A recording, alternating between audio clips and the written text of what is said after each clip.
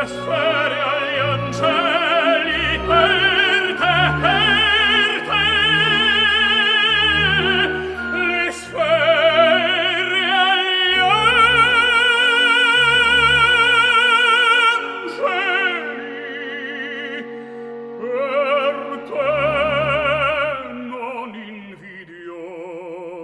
Az NSV Merkapt csapata nyerte a második kőbánya labdarúgó kupát, a tornán kőbányai cégek kispályás foci csapatai indultak.